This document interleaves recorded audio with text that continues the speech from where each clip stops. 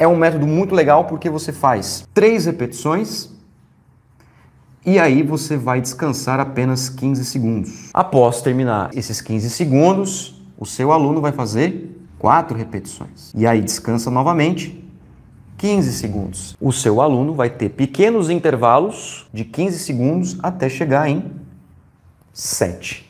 O método 3-7 ele deve ser feito com o mesmo peso. Deve. Só vai ajustar se caso necessário. Então vamos supor o seguinte, que você tenha prescrito aqui um supino inclinado com barra para o seu aluno, ok? Um exercício qualquer. E esse seu aluno está fazendo o supino inclinado com barra com 40 quilos no total, contando barra mais anilhas. Então ele vai fazer 3 repetições com 40 quilos, descansa 15 segundos. Faz 4 repetições com 40 quilos, descansa 15 segundos. Faz 5 repetições com 40 quilos, descansa 15 segundos. Faz 6 repetições com 40 quilos, descansa 15 segundos. Faz 7 repetições com 40 quilos e encerra. Ok?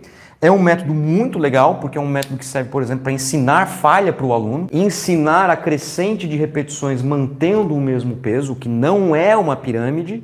A pirâmide é diferente, a pirâmide tem um ajuste do peso. O 3-7, nesse caso aqui, compreende um volume total de 25 repetições numa mesma sequência, né? 3 mais 4, 7 mais 5, 12 mais 6, 18 mais 7, 25.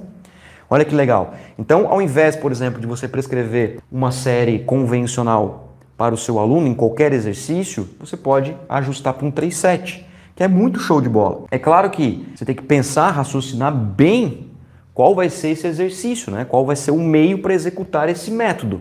Porque nem todo exercício é viável você fazer o 3-7. Por exemplo, se você pensar em supino inclinado com halteres, né? Porque até o tempo de botar o halter no chão e depois pegar o halter já passou 15 segundos.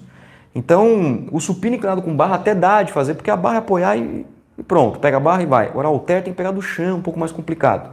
Mas rosca direta com barra é legal, exercícios de polia também é bacana de você fazer esse método.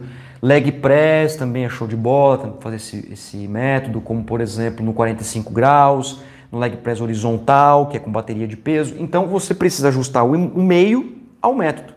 Aonde vai ser feito o exercício e como vai ser o exercício, meio e método respectivamente.